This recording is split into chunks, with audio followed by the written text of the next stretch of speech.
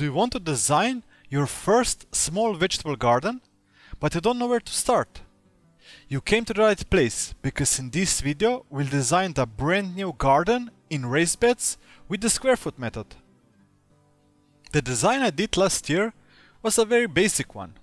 Three raised beds going east to west that did quite good for me, but they are nothing special design wise, nor are aesthetically pleasing. And also, it is time to expand the garden, and what better time to do it than in the winter months, when the garden is empty.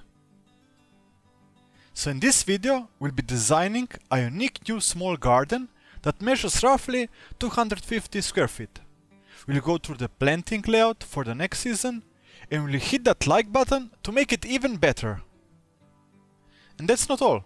Here and there I will sprinkle some tips that you can follow when designing your small vegetable garden.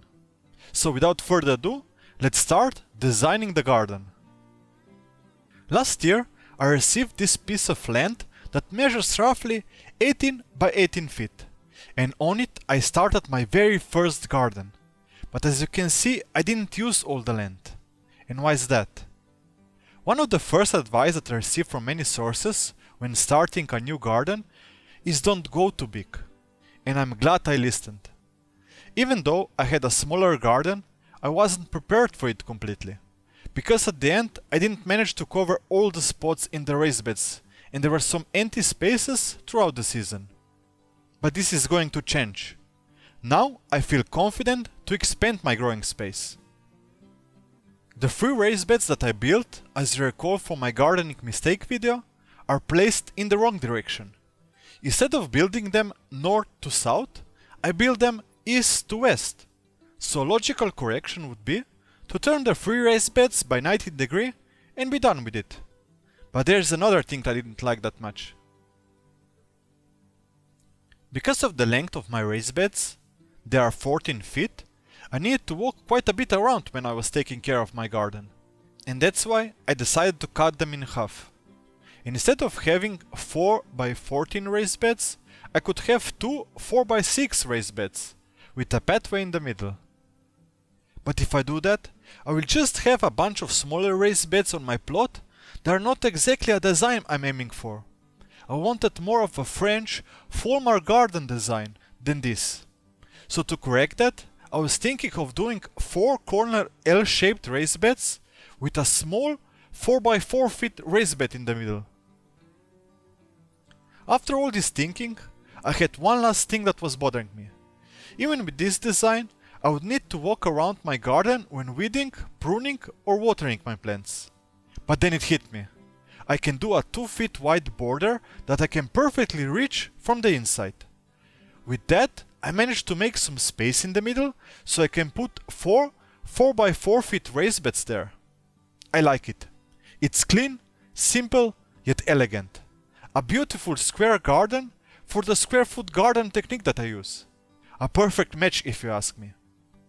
Before we jump into planning my planting layout, let me know down in the comments what would you change in the design, or hit that like button if you liked it. With the new design, I managed to increase my garden from 128 square feet to 176 square feet. That's a 37% increase in size. And I'm not even counting that for this season I'm planning to move my tomatoes to a dedicated cover raised bed. Now that I gained all this extra space, I can experiment with some new vegetables that I didn't try yet. Also, I can increase the numbers of some of the plants that I found I need more of them to satisfy my stomach. My aim is to make an aesthetically pleasing garden that can also provide me and my wife food to our table throughout the season. That is why I designed that way that the east side of the garden is the mirror side of the west one. With this mirror design, I'll be also able to make some tests with different soil structures and techniques to see which one yields more produce and which is easier to do. So subscribe to my channel if you're interested in what the results will be. I designed the bottom entrance to be the main entrance to the garden and will make some trellis around it as a focal point, but also to provide some support for the cucumbers. Next to them, I plan to intersow some radishes. Hopefully they will repel the cucumber beetles That way, if all goes well, I will have a plentiful harvest. Next to the cucumbers will be a small patch of onions that I heard do well next to them. And because onions can repel the carrot fly, I will plant them next to a small patch of carrots. I will also do this combination of onions and carrots in the two middle raised beds. Continuing at the bottom row, I will plant an eggplant next to a pepper plant. Not because they can protect each other from pests and diseases, but because they coexist nicely providing each other some support when growing. And because the eggplant is taller than the pepper plant, and I don't want him to cast shadows on my peppers, I will plant it on the north side of the peppers. I will also use this combination next to the onion carrot patch in the middle raised bed. And to finish up the bottom two middle raised beds, I will plant some salads that hopefully will get some shade from the eggplant and peppers. In that way, I hope to prevent premature bolting of the salads in the summer heat. In each of the two bottom corners, I will plant 4 cabbages. One thing that I found this year is that the cabbages grow faster than the zucchini and are harvested before the zucchini has a chance to develop into a big bush. So I will plant my zucchini next to it, giving them the space they need in the middle of the season when the cabbage will be picked. And now for the first newcomer of the season. Some bush beans. I love them cooked in salads, so I hope they will do well. Do you have any tips for them? If so, help me and the community by leaving some tips in the comments below. I will call the last two raised beds in the middle of my small kitchen garden brassica raised beds, because in them I will plant only plants from the brassica family, so cauliflower, broccoli and Brussels sprouts. This will make it easier for me to protect them from their common pests. And the last two corner beds will be practically filled with plants I didn't try yet. Because I thought I didn't have enough peppers, I started with two lonely plants, followed by four peace plants on each side. Next to them, I will see how it goes with the melons. I don't know how much space they will take, so I plan to plant some salads next to them in case they grow bigger than expected, so it won't hurt me to throw the salad out. And finally, the back row. And with it, it comes one more suggestion I can give you when designing your new small garden. Like me, you probably also don't have a gazillion of square feet of growing space. So, grow up. Use the vertical space you have. We all have.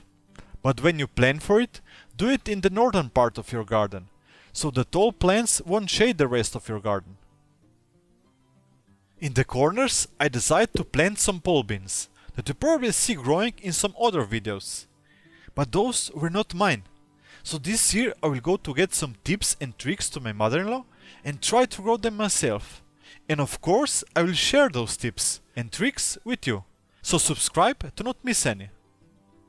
And to top it off, I will plant some sunflowers and other flowers to provide some colors and bait for the pollinators for my garden. And to tease you, I can tell you I have in plan a DIY project for the last 8 spots in the kitchen garden. I like the flow of the design and I can already see me sitting on a corner for a raised bed, enjoying the view. If you want to create your own square foot garden layout, but you don't know the specific spacings, you can watch the video that popped on the screen to check them out. And don't forget to subscribe to receive more tips and tricks about gardening, and to follow my quest towards a small kitchen garden. And if you liked the video, don't forget to like it and share it. Happy gardening!